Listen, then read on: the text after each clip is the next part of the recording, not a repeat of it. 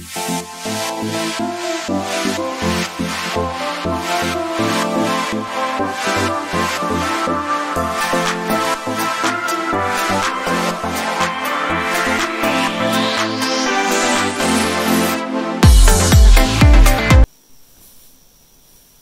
fellow crafters and paper artisans. It's Chandra with Stocked 'n' Stuffed.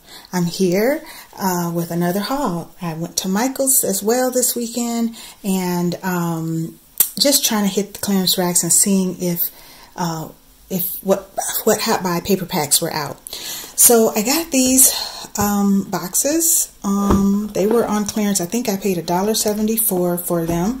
The pink one says Inspire and the green one says dream and I um, also got some of these uh, pins some of them are finer points than others. So these were also on clearance. They had been um, on clearance at Joann's as well. And so I just kind of got to just figured get some colors that I thought I would use. And um, I'll probably use these boxes for my pens and colored pencils. I just like them because one, they were pink and green, and you see a lot of that on my channel. Um, so they did start finally get some Christmas stuff out. It took them forever to get Halloween stuff out, and um, so they have some fall, some Halloween, and um, some Christmas stuff. So you know I love the non-traditional colors. So this Christmas pad is called Sugar Plums, and um, I love that it has the pink and the purple and the pale green. So we might be able to do a pastel Christmas um, challenge as well if somebody wants to host it. And then this Crystal Blues. I think I bought a blue hot buy pad from Michael's uh, a couple years ago, the one with the black angels. And I love that blue and gold. And so they have this one this year, Crystal Blues. And um, it uh, has all different shades of blue.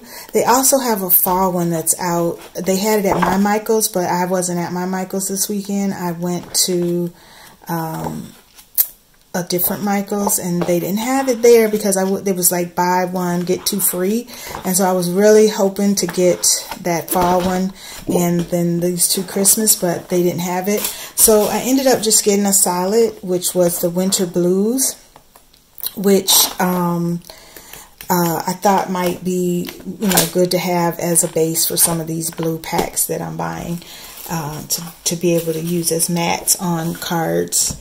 And um, I know I did this flip through really quickly so I'll come back through it. So there's pale greens and the pastel Christmas trees and look at these pages.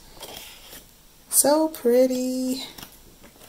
The green snowflake page I love it and anything with a gold accent is all, I'm all about it.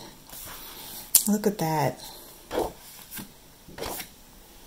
So pretty. I have um, a tutorial where you can make gift bags out of uh, big gift bags out of these pages in your in your um, paper pads that you don't use.